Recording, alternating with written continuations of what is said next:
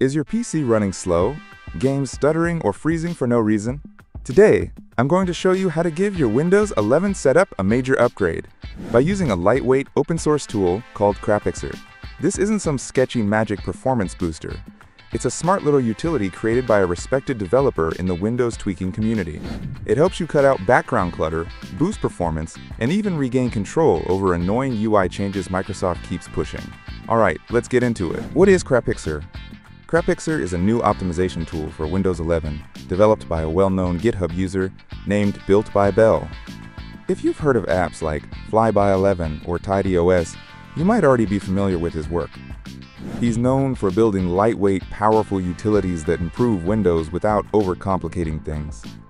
The name might sound like a joke, but the tool is actually very practical.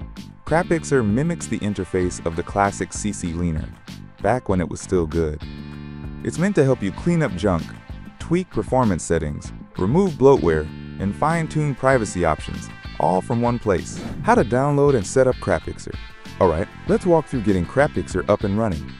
It's lightweight, free, and takes less than a minute to set up, but it can help fix really annoying UI lag and frame delay issues in some Windows setups. Head over to the Crapixer GitHub page, you'll find the link in the video description below. Once you're there, scroll down to the Releases section. It's usually near the bottom or on the right-hand side if you're on desktop. Download the .zip file for the latest version. It's a super small file, just a few kilobytes, so no bloat or long installs here. Extract the zip to a folder on your desktop or somewhere easy to access. Inside the extracted folder, double-click crapixer.exe to launch the tool. If Windows Smart Screen gives you a warning pop-up, that's normal. Just click More Info, then hit Run anyway. This happens because Crapixer isn't digitally signed, which is common for small open source apps. But don't worry, it's safe to use, and if you're curious, the full source code is available right on GitHub for transparency. First look at Crapixer. When you open Crapixer, you'll see a clean interface that looks familiar if you've ever used older PC cleaning apps. But don't let the simplicity fool you, it packs a lot of useful features. There are tabs like Issues, Core Tweaks for Performance, Edge, disables unwanted features from Microsoft Edge, UI, clean up the Windows interface, Gaming, optional settings to enhance performance, privacy and ads, shut down unnecessary tracking and telemetry, apps, remove pre-installed junk, plugins, integrate with other powerful tools. Let's break down each one. Issue slash System tab, Performance and Behavior Tweaks. In this tab, you can enable a bunch of helpful optimizations, like show detailed blue screen error messages, enable verbose boot and login messages, speed up shutdown time, disable network throttling, optimize system responsiveness, enable end task option in taskbar, disable hibernation, each of these tweaks can improve your system's responsiveness or make diagnostics easier. For example, showing detailed BSOD info instead of the sad face helps you actually figure out why your system crashed. Microsoft Edge tab, disable background bloat. Don't use Microsoft Edge.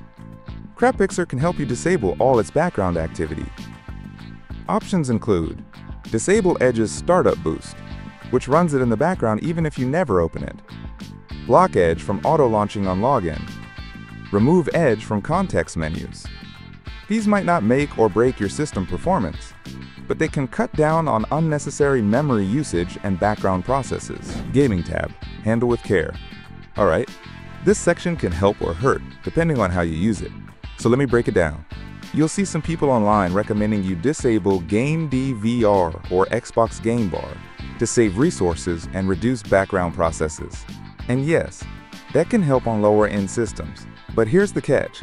In my experience, turning off game DVR completely can actually cause issues in some games, like broken overlays, recording features not working, or even launch errors. It's one of those tweaks that sounds good, until it breaks something weird. If you're running on lower-end hardware, disabling extra visual effects in the Gaming tab can free up a bit of RAM and GPU usage. Think of things like capture overlays, broadcast tools, and UI animations. But if you've got a decent or high-end system, you can likely leave those settings on.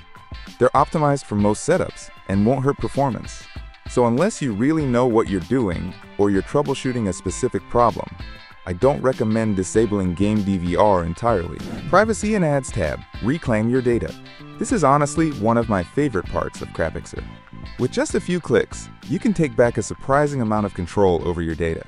You'll be able to turn off activity history tracking, disable location services, stop telemetry and diagnostic data from being sent to Microsoft, block personalized ads and app suggestions, and even remove Copilot from your right-click context menu. If you're someone who values privacy or just prefers a cleaner, less intrusive Windows experience, this section is definitely worth exploring. It's a great way to limit what's running in the background and what Microsoft collects without always making it obvious. Apps tab. Say goodbye to bloatware. This is where Crapixer really starts to shine. Because let's be honest, most Windows installations come with a ton of pre-installed apps that you'll probably never use. They take up space, clutter your start menu, and some of them even run in the background. The Apps tab gives you a clean, organized list of these default applications. Everything from Xbox Game Bar to OneDrive, Microsoft Teams, Weather, News, and yes, even Candy Crush. You can go through the list and select specific apps you want to remove one by one. Or, if you just want a clean slate, hit Select All and remove them all in a single go. Once you're ready, click Run Fixer and Crapixer will quietly uninstall every app you selected. No need to hunt them down manually or deal with uninstall errors. It's fast, simple, and a great way to streamline your system and reduce background clutter. If you've ever wished you could start fresh without doing a full reset, this tab gets you surprisingly close. Plugins tab. Extend Crapixer's power. This is where things get really interesting. Crapixer supports plugins, and there are some great ones available. Chris Titus Tech Optimizer, another excellent system tweaking tool. Uninstall OneDrive. If you don't use Cloud Sync enhanced bloatware detection, remove AI features like Copilot, BleachBit, Advanced System Cleaner, WinGet App Updater. Updates all your apps via Windows Package Manager. Installing a plugin is simple. Just select it, click Install, then go back to the Fixer tab and run it again. Analyze, fix, and restore. Here's the basic workflow. Click Analyze to scan your system, red equals unoptimized, green equals already optimized, select what you want to tweak, hit Run Fixer, done. You can also click Restore at any time to undo all changes and return Windows to its previous state. This is great if you accidentally tweak something you shouldn't have, or just want to reset. Bonus, customize the look. Crapixer even lets you enable dark mode for the system and apps. Align your taskbar to the center or left. Bring back the full classic right-click menu in Windows 11. Turn off rounded corners and animation effects. All small things. But they help personalize your desktop and improve usability. Extra tip. Use BleachBit for cleanup. Crapixer includes a basic disk cleanup. But if you want deeper cleaning, I recommend installing BleachBit as a plugin.